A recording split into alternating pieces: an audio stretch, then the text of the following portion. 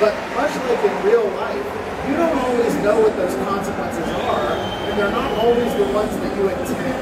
So by participating in all this and building the city, you've anchored the Goblin King, character we haven't even met yet. But because he has likes and dislikes, and he really, really dislikes it when you build a city in his territory without his permission. So he's going to send an army of orcs and gnolls and goblins, If the rallying call reaches its climax. Now you have the opportunity to fight the invaders, destroy the catapults as they're trying to destroy your walls. You have the ability to fight the infiltrators that come in. And you remember the quarry from before, no one plugged the hole, and now monsters are coming out of it, and someone's got to go down there and deal with that too. So as players participate and come together, will advance the rallying call and they will defeat the Goblin King and the rallying call will end. And now that city will be a permanent part of the world that they have helped to shape. And when a new player comes on two weeks later, it looks to that player like this city has always been there. They won't know that it once was a tent city unless they talk to you. So after, uh, after some time, when you have conversations with people, someone will say, hey, what was the world like at launch? And you'll say, well, that was before the dragons attacked, and before the Civil War, and before we made friends with the Goblin King, and now he sells us cheap lumber. So your ability to interact with the world that way is going to give you an ability to have a story that you remember. So that's EverQuest Next. We're really happy with how it's coming along. But something funny happened while we were building it. And to build this world out of boxes, we had to create all new tools that never existed before. And it turned out those tools were really, really fun to use. And because of that, we had people staying in the office late. People would be on, there on the weekends designing things and building things. Not just the artists, but the producers. And the stuff that they were building was pretty cool. So we had the idea, what if we gave the tools to the players and let them help us build EverQuest Next? So this winter, we're launching a product called EverQuest Next Landmark. And what Landmark is, it's a tool that's going to let you design and create anything you can imagine. When you go into Landmark, you're going to create a character. You're going to do all the normal customization things you're used to. You're going to be an adventurer class. And by playing this in Landmark, you're going to unlock the ability to take this class with you into EverQuest Next. So you'll be able to multi-class on day one.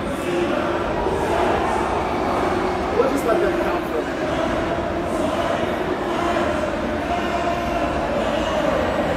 So as you play in Landmark, you're going to be able to take those things that you build and create, and you're going to be able to move them with you to EverQuest Next. So if you're a guild leader, you can go ahead and build, build your guild hall so that you're ready on day one for your guild in, in EQN. You're going to start in a starting zone, and you're going to travel out from here into the world where you're going to be able to build and create things. Now, other people are going to be able to destroy the things you create as well. And we realize that that's not the gameplay that everyone wants. So what we're going to do is give every player in the game a flag. And you're going to go out and find a piece of land that you like. You're going to put that flag in the ground and claim it. And that land is now your land. And on your land, you can do whatever you want. You can let people build with you. You can let people destroy it. You can say no one ever comes on your land. It's your land. It's your rules. Landmark is going to have the same tiered content as EverQuest Next. So a deep world, five or six different environments. It's going to have multiple ways to do fast travel through the world and across servers. We're going to have the heroic movement system, the parkour system. And at, at Gamescom, we're also announcing that we're going to have mounts in Landmark. Those mounts are also going to use the parkour system.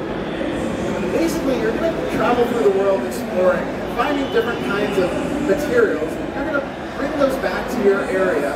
You're going to use them to craft objects and construct the things that you want to build.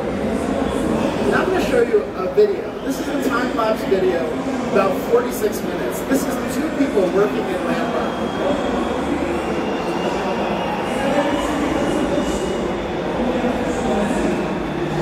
And notice how quickly they're able to just take out huge pieces of the world. Because in Landmark, we allow you to shape the size of the tool you're using so that you don't have to do things one block at a time.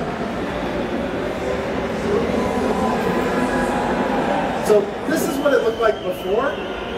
46 minutes later, this is what it looks like. This is because the tools are very powerful. They're actually the same tools that the developers are using. As you can see, you can reshape the brush size. You can get it down to a tiny, tiny brush. And you can actually you know, use that to sculpt very fine material. We also have a smoothing tool. So you can take something that starts as a cube and turn it into a perfect sphere. In fact, everything that's been in every one of the videos we've shown you today has been built with this tool. Here's another video. This is, again, two players, 36 minutes.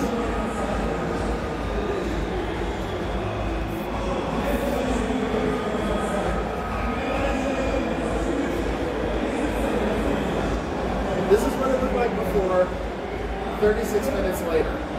Now, let me remind that this is a fully functioning MMO. This isn't Photoshop Online.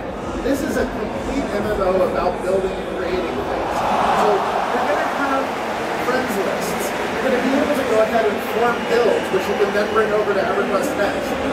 You're going to have co-op build-outs. And what this means is, if you're wandering through the world, and you see someone building something awesome, like say the Empire State Building, you can talk to them and you can join in and help them build those amazing things. Multiple people can do this at the same time. So it'll be amazing to see what people come up with. You're going to have text chat, you're going to have VoIP, and the SOA mode that we showed you before. Another thing that we're adding and announcing at Gamescom is leaderboards. This isn't going to work like it does in, say, League of Legends. Our leaderboards are going to allow you to up and down vote people's uh, buildings based on how creative or cool you think they are. So we'll very quickly see who's got cool stuff and who doesn't. This is really important because we have a program called Player Studio. And with Player Studio, you're able to package your creations up and put them on our in-game marketplace. And when people buy those things off the marketplace, Sony pays you for renting. So you can actually make money by playing Landmark. We've had a lot of success with this program in other games, so we're expanding it for Landmark. We're adding an achievement system. We're adding, we're adding filtering and following tools, as well as the ability to package up those claims and buy and sell them across servers. The most important thing, though, is we really want you guys to participate in helping us build EverQuest Next. So we're going to be running contests and player community events to say, okay, we want to put the Mad Gods Temple in EverQuest Next. Here's the concept art. Here's the lore. Here's the design director's notes. Go. And in 30 days, we're going to pick the best one, and that is going to become the actual temple in the game EverQuest Next. EverQuest Next is going to be the first game to ever ship with player-created content on day one. I'll show you one last video. This one is three hours, sorry, three hours and 20 minutes. Two players again. Now, while this is happening, I want you guys to think about, this is two players for three hours. Imagine if everyone in this room was building a landmark for three hours. Now, imagine if thousands of people on your server are all building for three hours. What is that going to look like? Now, imagine what that world is going to look like in three weeks or in three months. What is that world going to look like after players have been doing this for three years? Look at the level of detail above the pillars on those sides, the sculpting and shaping that they're able to do. That kind of level of detail is not available in any other building game.